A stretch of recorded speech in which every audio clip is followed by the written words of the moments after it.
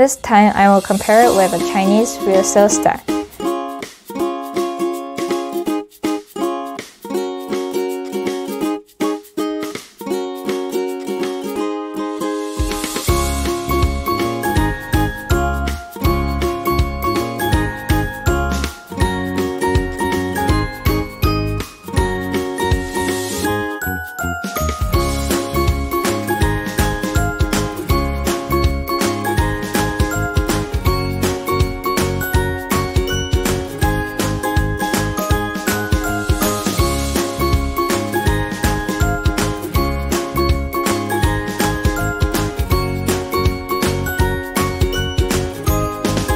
At the end of 3 minutes, the inside water level is about 26 and the outside is 12.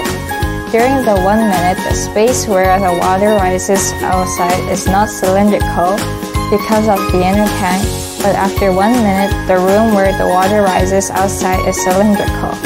From 1 minute to 2 minutes, the outer scale rose from 6 to 9, and from 2 minutes to 3 minutes, the scale rose from 9 to 12.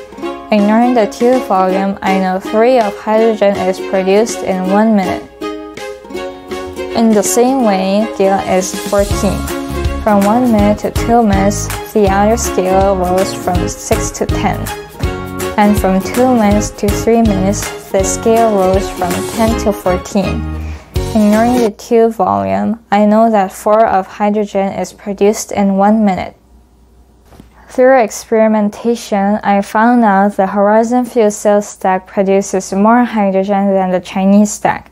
When I tested the Chinese stack, I used the hydrogen tank from the Horizon kit, so I think a little hydrogen could leak between the tube and the tank.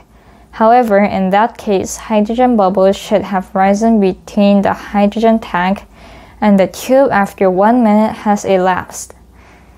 It can be seen that there is no linkage of hydrogen between the tube and the tank. Although similar, Horizon's fuel cell stack performed better than the Chinese stack. Next, we'll use multiple LEDs to test which stack can light up longer. Thank you so much for watching. This is Audrey Choi.